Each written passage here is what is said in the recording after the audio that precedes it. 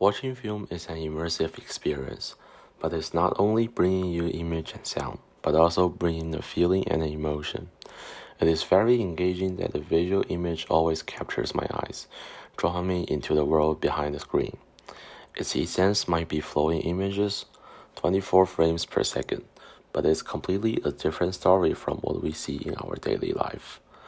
People who created these visual references are called cinematographer. Precisely, director of photography. Today's story begins with a little boy.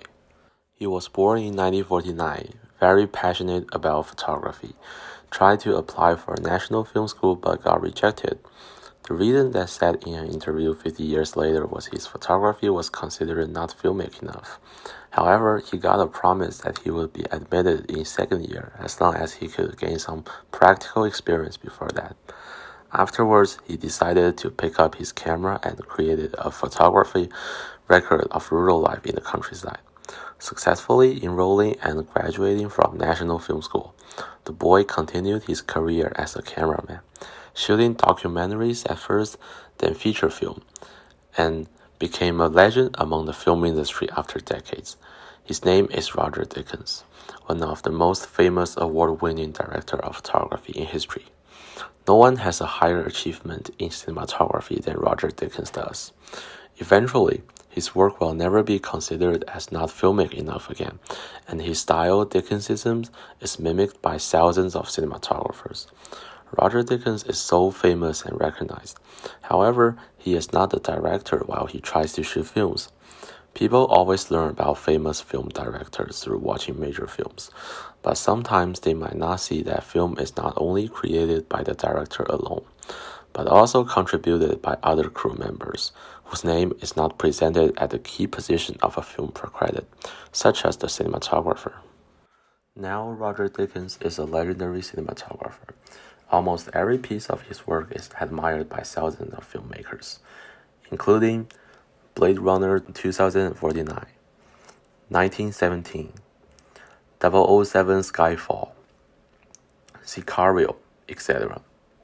Before he became a famous cinematographer, Roger Deakins used to be a photographer. During his teenage years, taking photos seemed to be a natural daily routine that stays in his soul. In his photography collection, these works represent his personal view. This is also indicated through an article that interviewed his photography collection named Byways. It may be the purest distillation of Deakins's vision, stark, plaintive, reverent of land and light, we ever get. From that perspective, Deakins mentioned about point of view of each person as well as his Deakinsisms.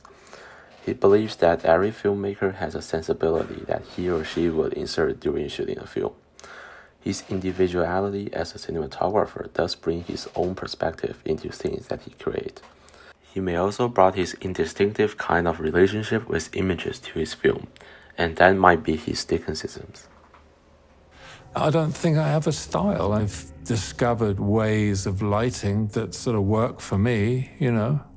Like I look at this lighting, it's great, but I wouldn't do that. You know what I mean? I'd do it a different way, but that's all personal. But that's not really a style. I don't think I have a naturalistic style. I, I, I, hope I have a style that suits the the project that I'm on. I mean, I walk on a film set on a new movie, and I think I've, it feels like I've never done it before, like I'm learning, you know. So I, I don't think I've got a style. Uh, any any way a film looks is a product of the prep on that look on that film and how that sort of developed as we've gone along. The success of Skyfall shows how can a cinematographer contribute to the storytelling effect of a movie.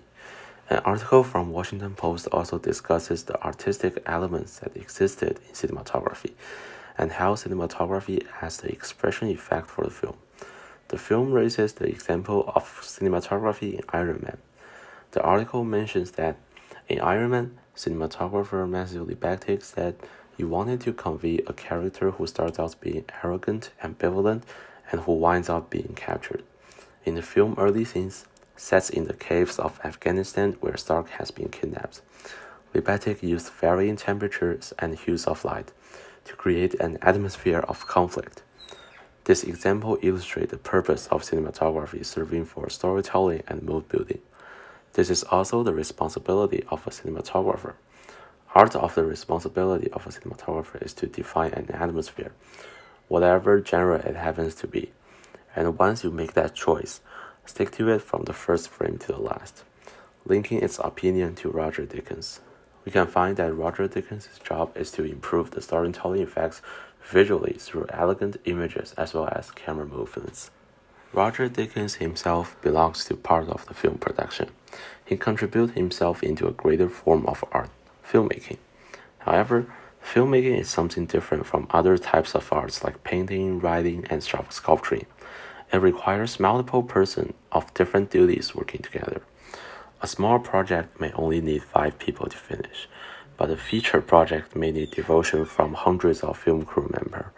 Roger Deakins works with director, which becomes the highest tier among the crew. Below that, there are camera operators, production assistant, gripping personnel, and etc. Teamwork makes the film production successful, which probably be the charm of filmmaking.